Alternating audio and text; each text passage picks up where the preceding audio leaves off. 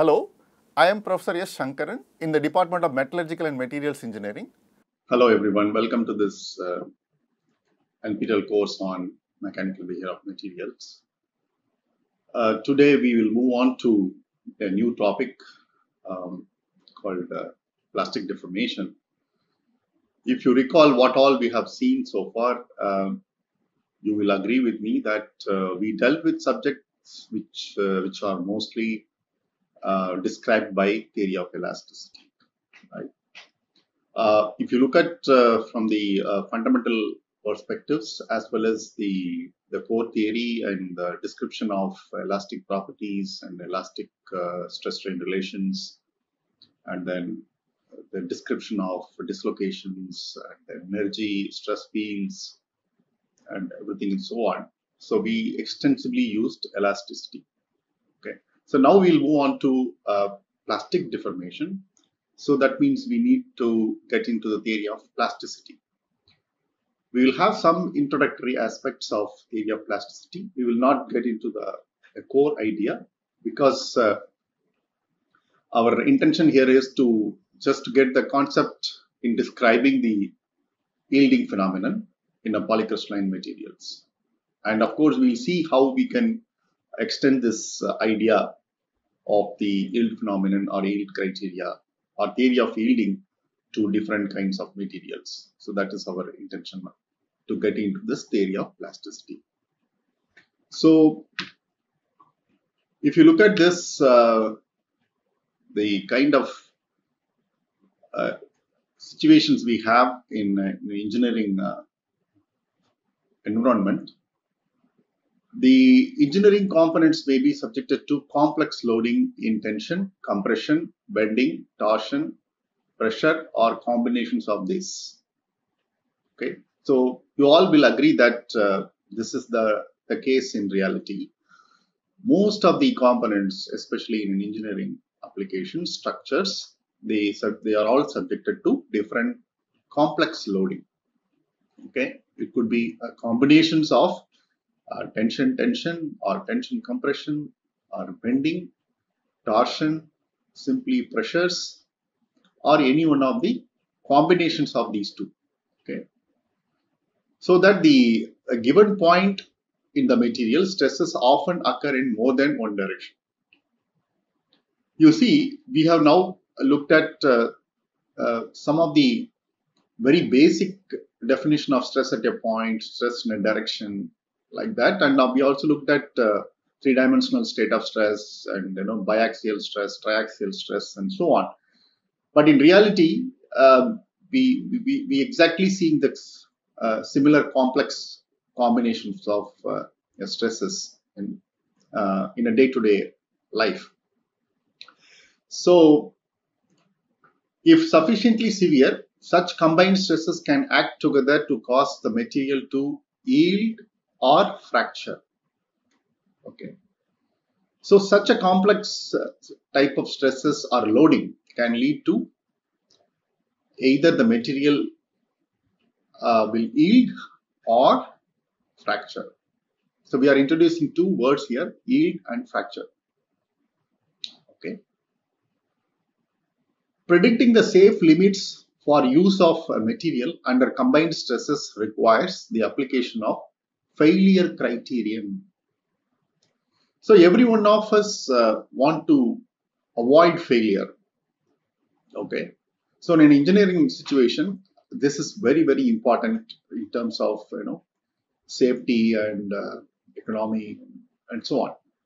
So you need to know the failure criterion on what basis we will, you know, apply load on the structural members so this there should be some guidelines. Otherwise, there could be some uh, failures. Uh, I mean, unexpected failures, sudden failures, and so on. Right.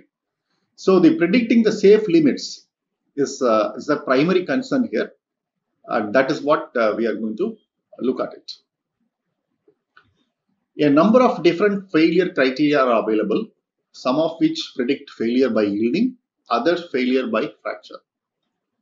So we are talking about two different things. Either your material can yield and or fracture. So yield is better than fracture because uh, you know fracture is complete total failure. Yield is a partial failure. That is kind of a warning, right? Yielding is kind of a warning, warning signal.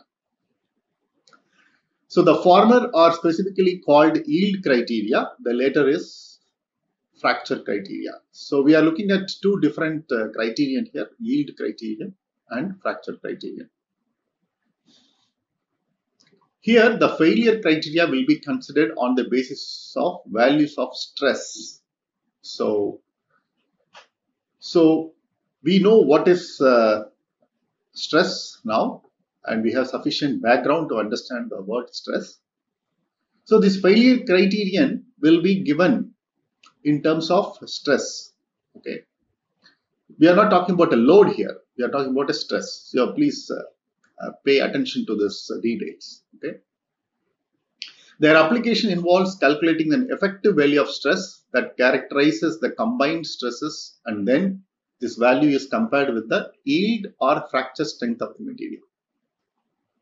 So what does it mean is uh, you you try to come to a, a safe limit of stresses by some prediction or calculation and then compare that value with the what is the experimental value reported or determined in our end. Then these two values values be compared and then you can take a decision. A given material may fail by either by yielding or fracture depending upon its properties and the state of stress. So that in general the possibility of either event occurring first must be considered. So it is not that uh, uh, we want to reach the fracture of the material.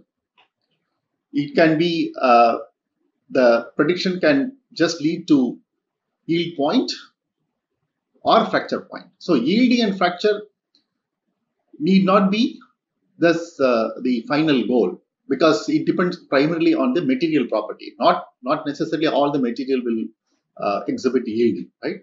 Only ductile materials will exhibit yielding not the uh, brittle materials will exhibit sufficient yielding. Okay. So um, we will now look at the uh, yield criterion. The need for a failure criteria. Why do we need this criterion? Okay. So you look at this uh, schematic shown here what is shown here is uh, a cube which is subjected to uniaxial uh, tension and uh, this is the the stress strain curve for this so the assumption here is the material is assumed to be a ductile engineering material the behavior of which approximates the ideal elastic perfectly plastic case so it is just for our own consideration Okay. A ductile material will which exhibits ideal elastic, that means it's just elastic behavior, and then perfect plastic. Okay. Please understand this. This is for our own understanding. Just for assumption. In reality, there is nothing like this, right? You all know that. But what is that we are seeing now? We are seeing that elastic and then plastic. That means we are getting some value here sigma naught that is a yield stress right now in the same geometry we will subject them to different type of loading here that's what shown here suppose if the load is not only applied in unidirectional but one direction of the stress is reversed or a transverse stress what happens to the sigma naught. That is the idea. So what is that we are seeing here? It's quite interesting, right? The moment you change the state of stress, you see that accordingly the Young's modulus is also getting modified. This we know. This we have background to understand this. But what happens to the sigma naught? Sigma naught becomes, that is sigma y is approximately becomes half. This is very important to note. Okay. So the sigma, when the sigma x becomes uh, minus sigma y, then the yield stress is becoming nearly half of the value as compared to the uniaxial tensile force. The third one, what you are seeing here is, it is a biaxial tension, right? What you are seeing is biaxial tension, sigma x is equal to sigma y. And what is that we are seeing here? Surprisingly, there is no change in the yield stress. Sigma y is equal to approximately equal to sigma naught. Okay.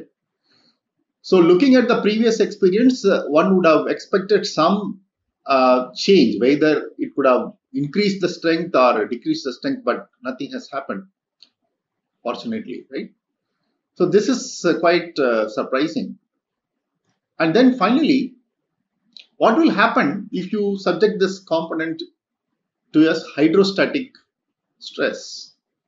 That means you know the meaning of hydrostatic stress now. That means sigma x, sigma y, and sigma z will be of equal magnitude. And um, in compression, that's why it is minus p. So what happens? Quite interestingly, okay, it's a very a linear behavior. The material doesn't yield. Okay. One important point you have to remember here is in all these A, B, C can be experimentally verified by some means. We have means of doing this, but we cannot create a hydrostatic pressure and then, uh, I mean, in a simple experiments, we cannot realize this. So, nevertheless, this is what it is uh, shown here. There's nothing happens to this material, right? You recall that, you know, in previous elasticity theory also we have seen that hydrostatic stress doesn't contribute to plastic deformation. Okay, that also you should remember.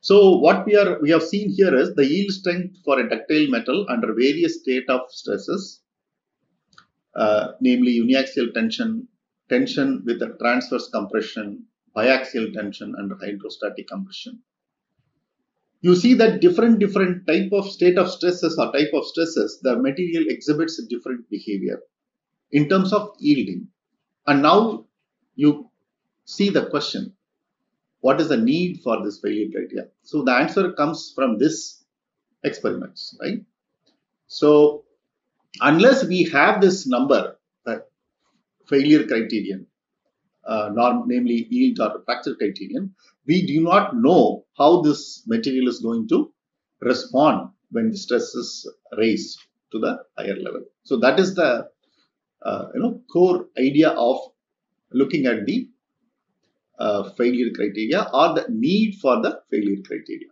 Okay, so now we look at uh, how do we go about this.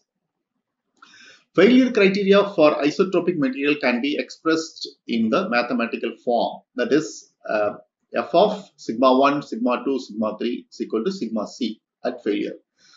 So what is sigma 1, sigma 2, sigma 3? You all know principal stresses. So the principal stresses, a function which is, uh, you know, uh, depends on this principal stresses should predict some critical stress, sigma c okay? In terms of the you, we are interested in calculating the critical stress in terms of principal stresses which we already know. So that is the idea. So where failure yielding or fracture is predicted to occur when a specific mathematical function f of the principal normal stresses equal to failure strength of the material sigma c as from the uniaxial test yes this is very important so you know what is uh, critical stress. That is not important. Whether you can relate that quantity with a common test. What is a common test we do? We do a simple uniaxial test. Whether we can find out uh, or the critical stress, whatever the yield theory is predicting, whether we can relate that quantity with the what we already or we are able to do it with the uniaxial tension test. That is the question. The failure strength is either the yield strength sigma naught or the ultimate strength sigma ut or uc depending upon whether the yielding or fracture is of interest. So here, depending upon the interest, we, we can relate not just to yield strength, that is the another term now, ultimate strength, ultimate strength. This also we will see uh, when we look at the mechanical testing uh, syllabus. But this is uh, uh another term which normally uh, one can estimate in the simple tensile test. And this is sigma uses the fracture strength. Okay, at the, at the time of fracture, what is the stress? The a requirement for a valid failure criterion is that it must give same result regardless of the original choice of the coordinate system in a problem. This is important. Okay. This requirement is met if the criterion can be expressed in terms of principal stresses. So only when you express the fail, failure criterion or yield criterion in terms of principal stresses, then you don't have to worry about whether it is represented in the uh, different different coordinate forms. It is also met by any criterion where f is the mathematical function of one or more of the stress variants. Okay. If any particular case of the above equation, that is the f is equal to sigma c, is plotted in a principal normal stress space, that means it is in a three-dimensional coordinates of sigma 1, sigma 2, sigma 3. The function forms a surface that is called failure surface. So, if you have this uh, values sigma 1, sigma 2, sigma 3, that means the mathematical function predicts the critical in all these three uh, stresses. Then we can construct a, a surface whether it is safe or whether whether our data points or the stress values fall inside the surface or outside the surface. That is the idea. A failure surface can be either a yield surface or a fracture surface.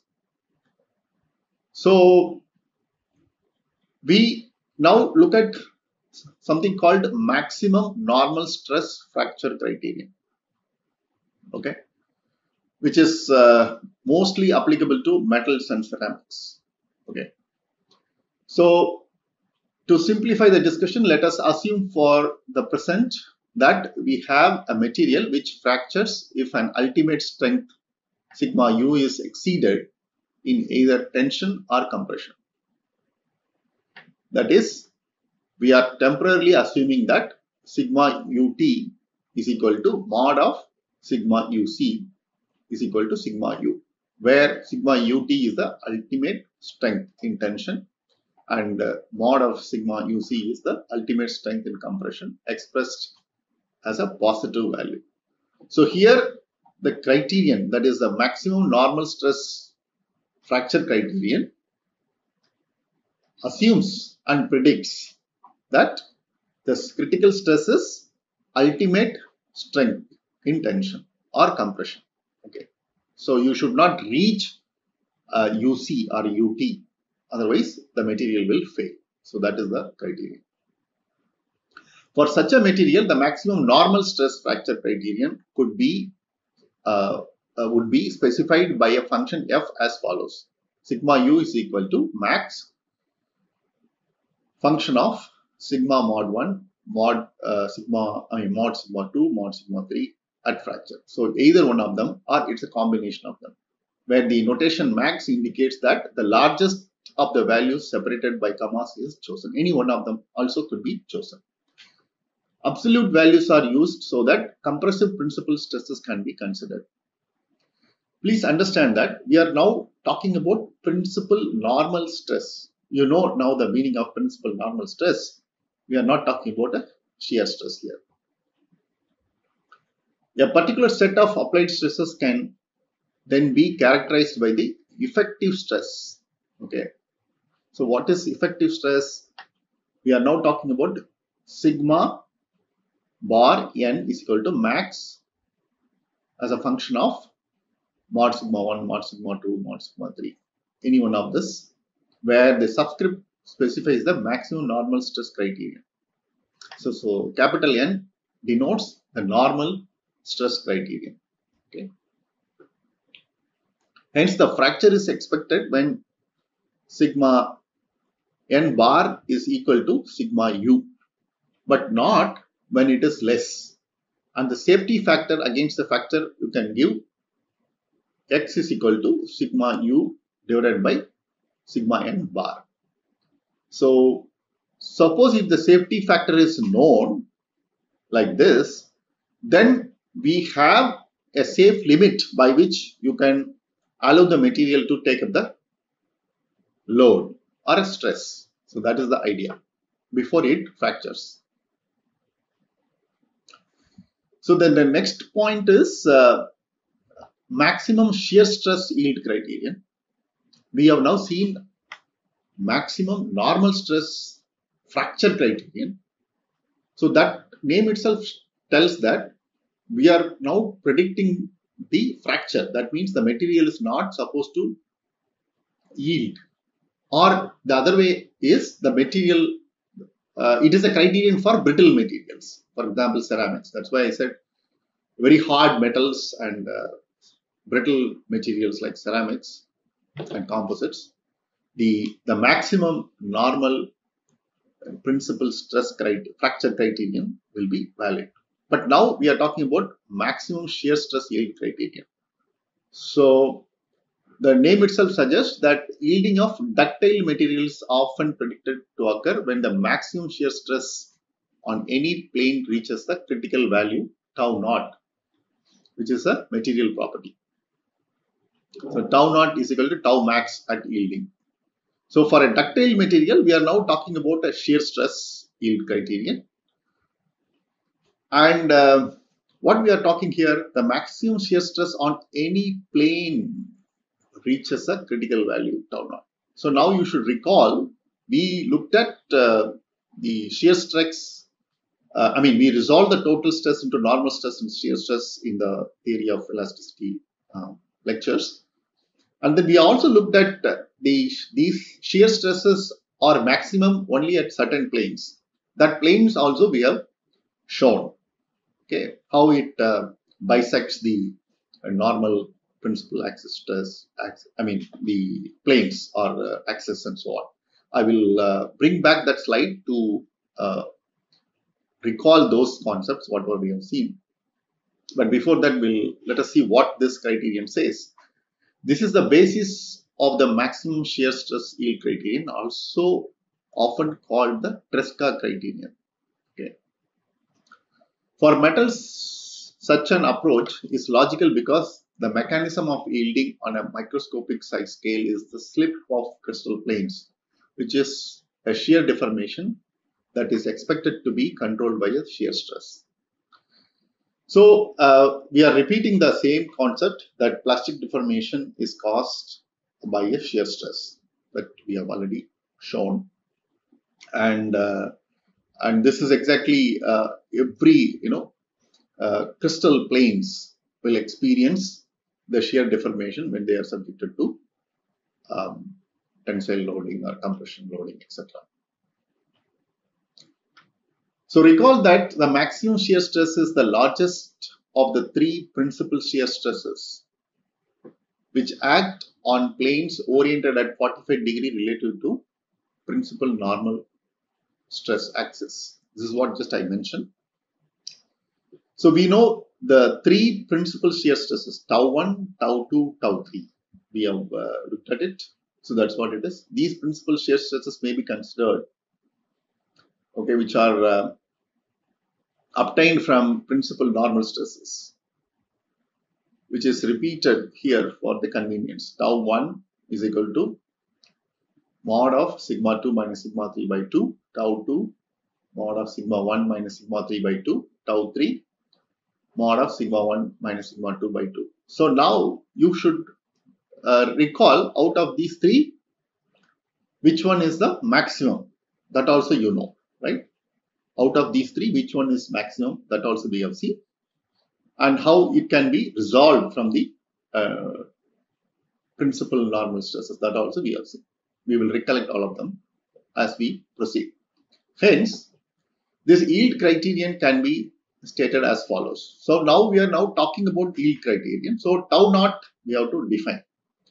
tau naught is equal to max times mod sigma 1 minus sigma 2 by 2 like what we have seen in the the normal principal fracture criterion here we are putting the tau 1 tau 2 tau 3 at yielding whenever this tau naught reaches or it reaches the maximum of any one of these shear stresses the material will yield that is the criterion the yield stresses um, shear tau naught for a given material could be obtained directly from the from a test in simple shear such as a thin walled tube in torsion. Either we can obtain this quantity by simple torsion test or even a simple tensile test we can take, we can relate because we have the relation, right? We will see what is that. However, only a uniaxial yield strength sigma naught from a tension tests are commonly available so that it is more convenient to calculate tau naught from sigma naught. Okay, in a uniaxial test, at the stress defined at the yield strength, we have sigma 1 is equal to sigma naught, sigma 2 and sigma 3 is 0 because it is uniaxial. Substitution of these values into the yield criterion of the equation gives tau naught is equal to sigma naught by 2. So if you substitute this into this equation, these relations, so finally you get tau naught is equal to sigma naught by 2. This is the yield criterion for the ductile materials or Tresca yield criterion. According to the convention, sigma 1 is the algebraically greatest principal stress and sigma 3 is the algebraically smallest principal uh, principal stress, right?